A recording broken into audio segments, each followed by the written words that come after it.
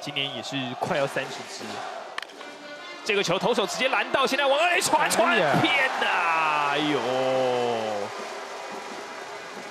哇，这个球啊，结果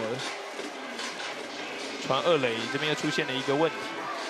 其实像昨天的呃之前的比赛啊，也出现这样子，就是投手拦截。